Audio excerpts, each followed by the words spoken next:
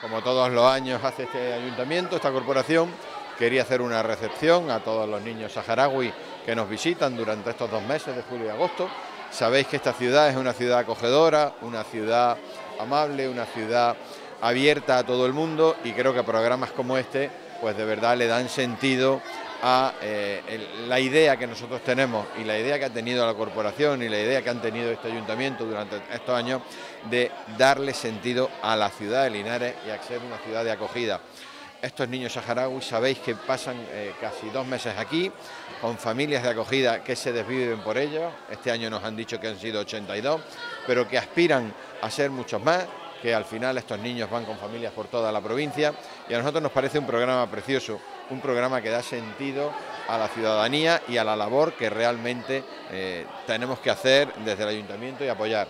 Nos han dicho que si vamos a seguir apoyando esto, como comprenderéis, por supuesto vamos a seguir apoyándolo porque nos parece un programa precioso y porque además hay niños que ya han venido durante, pregunto algunos, cinco años, seis años, algunos que hasta se han quedado aquí.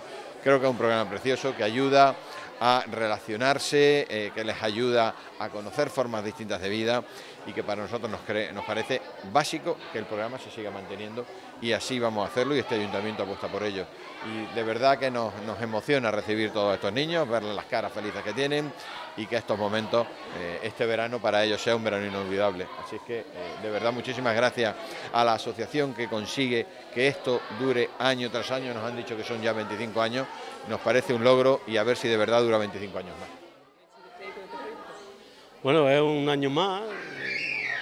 Este año pues estábamos poco así, con la nueva corporación todavía no hemos tenido contacto y bueno, pues parece ser que la, corporación se ha hecho receptiva y, esperamos de que las ayudas que se han, han, hecho de aquí para atrás pues se mantengan ¿no? y nosotros podamos seguir con nuestro proyecto de vacaciones en paz. Este año, como, como he dicho anteriormente, hemos traído 82 niños y el año que viene pues queremos llegar a sobrepasar los, 100 chiquillos. ¿no? Y bueno, pues está hablando también con la concejala de, de y le he hecho el compromiso a ver si puede visitar los campamentos cuando vayamos en, diciembre. Ha dicho que nos vamos a reunir pronto y, bueno, a ver si podemos visitar aquello. La idea es seguir con el programa de vacaciones en paz y además seguir ayudando a los campamentos. El, el objetivo es mantener la ayuda de, Linares, que es el, pueblo más importante de la provincia de Jaén en el tema del proyecto. Y bueno, seguir con los proyectos de Vacaciones en Paz y otros proyectos que, hay allí, que hay muchas necesidades y hacer primero este y después mantenimiento de, los colegios, de la universidad y esas cosas.